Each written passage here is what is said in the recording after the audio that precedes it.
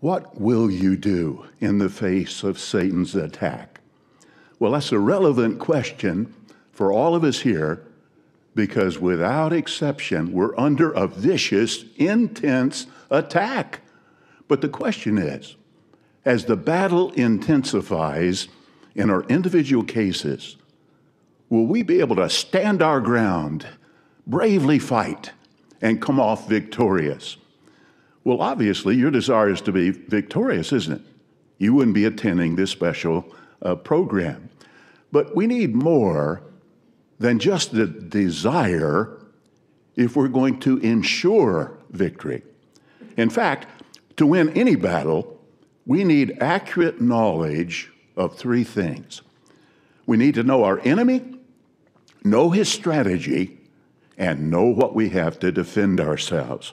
Now, first, let's talk about our enemy, Satan. He is no ordinary foe. Jehovah educates us regarding uh, this enemy we're fighting. For one thing, he's a premeditated murderer. Look at what he did to Job's attendants, slaughtered them with marauder bands. Others were consumed with fire. Look at what he did to Job's 10 children. He murdered simultaneously all 10 of them with a violent windstorm. Yes, he's a premeditated murderer. He wants to murder into everlasting death every one of us here. What a cheerful talk this is. This is Stephen Lett speaking at the 2021 annual meeting. His theme We can be victorious over Satan's attack. And what is it with governing body members and fighting talk lately? False rumors are often spread during wartime. Brothers, this is war. We need to put up a hard fight for the faith as if our life depended on it. Because it does. Because without exception, we're under a vicious, intense attack. Will we be able to stand our ground, bravely fight, and come off victorious? There seems to be no let up in the fighting talk from the governing body lately. I can imagine all of this must be very exhausting for Jehovah's Witnesses. It's exhausting to be in a constant state of war, isn't it? For not just months, not just years, but decades. This is an organization that's been at war for decades, for a, over a hundred years. And that's going to be exhausting. I've never actually lived through a war, fortunately. I live in a part of the world that has seen a war recently in Croatia but I wasn't around for that war. But I've obviously spoken to people who did live through the war. Diana lived through the war. And it was a very, very traumatic experience. It's traumatic to live in a state of existential dread because there are literally people going around killing in your country. So, for Jehovah's Witnesses, to just be kept in this constant state of, oh, I'm at war. oh, I'm in this existential fight. You heard there David Splane at the Powerful by Faith convention saying that Jehovah's Witnesses need to fight like their life depends on it. You know, that's going to take a toll. There's going to be some fatigue there, isn't there? for Jehovah's Witnesses, I can only hope that at least some witnesses watching this sort of fighting rhetoric will just be overwhelmed with fatigue by it all and just think, are we really still fighting? I'm tired of fighting. I'm tired of hating. I'm tired of hating people you want me to hate just because they're saying things that reflect badly on you or on your organization. I actually was watching this talk by Stephen Letts, expecting him to start talking about apostates. I thought, oh, here we go. here is yet another apostate bashing talk. Turns out he actually doesn't say the word apostate once in this talk. Instead, it's a more generic talk in which he is stirring up fear and hysteria regarding Satan, regarding the evil of Satan and how Jehovah's Witnesses need to resist this evil. And I found it fascinating that in trying to do this, Stephen Lett said the following For one thing, he's a premeditated murderer. Look at what he did to Job's attendants, slaughtered them with marauder bands. Others were consumed with fire. Look at what he did to Job's 10 children. He murdered simultaneously all 10 of them with a violent windstorm. Yes, he's a premeditated murderer. So Satan is apparently a premeditated murderer.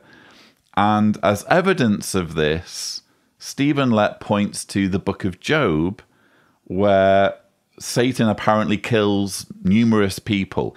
I actually did some digging on this because it brought to mind this argument that you occasionally hear, and it's a good argument, which is to say, if we compare God's murders and God's deaths against Satan's murders and Satan's deaths, in other words, if we compare the body count in the Bible of those killed by God against those killed by Satan, who comes off as the biggest killer.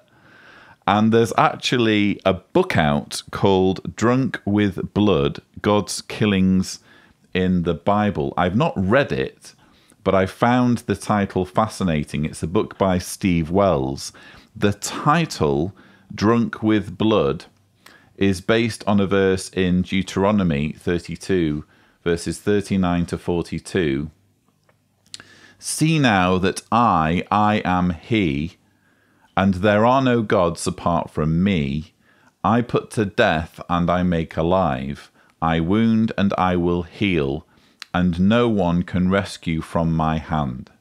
For I raise my hand to heaven, and I swear, as surely as I live forever, if I sharpen my flashing sword and prepare my hand for judgment, I will pay back vengeance on my adversaries and bring retribution to those who hate me. I will make my arrows drunk with blood, and my sword will eat flesh.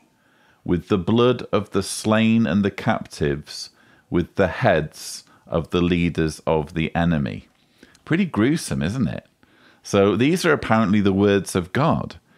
And he's not conveying the attitude of, well, when I need to kill, I will kill, but it's not something that I enjoy doing. It's just something that's necessary. No, towards the end there, there's quite a bit of bloodlust, isn't there? My arrows drunk with blood, and my sword will eat flesh. With the blood of the slain and the captives, with the heads of the leaders of the enemy. Yeah, God seems a bit bloodthirsty. And going back to this verse in Job, when you actually read it, I'm not sure Stephen Lett's summary is all that accurate. He says that Satan killed Job's attendants using marauder bands.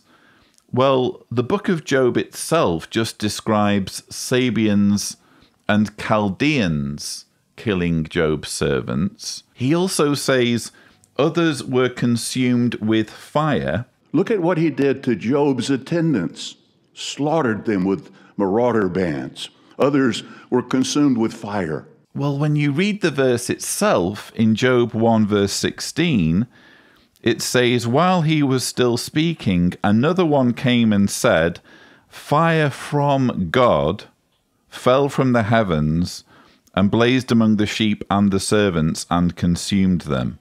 I am the only one who escaped to tell you. So, the Bible, bearing in mind the Bible is God's word, the Bible has an account of a servant ascribing it to fire from God, and God's word doesn't bother to correct this servant and say, but it wasn't fire from God, it was fire from Satan. Stephen Lett is in my view, putting words into the mouths of the Bible writers, you can, I suppose, argue that Job's ten children were killed by Satan. But here's the interesting thing they were the only ones in the Bible that Satan, who we've learned is a premeditated murderer, they were the only ones that the Bible itself describes Satan killing. And when you go to the website Why Evolution is True, it's by Dr. Jerry Coyne, who I've interviewed on the channel. I'll drop a link in the description. There's an interesting blog post, Murders God versus Satan, and he references this book by Steve Wells. There are two figures for the numbers killed by God. One is based purely on what's written in the Bible, and that's nearly two and a half million. That's just based on what the Bible says. And then the second figure is kind of more realistically, if we estimate what the true figure would be, accounting for all of the stories where the Bible doesn't give firm numbers, that would be closer to 25 million people killed by God. And then you look at the book of Job, and on Satan's side, Satan kills 10. Now, even if we take Stephen Lett's words at face value and we say, oh, well, the fire wasn't from God, the fire was from Satan, and actually the marauder bands were being influenced by Satan, well, first of all, God actually allowed Satan to do this. If you read in the book of Job, Job 1, verse 12 says, Then Jehovah said to Satan, Look, everything that he has is in your hand. Only do not lay your hand on the man himself. So Satan went out from the presence of Jehovah. So God essentially gives Satan permission to do all this, which I think is important context. God has the ability to intervene and decides not to, decides that Satan should just have at it.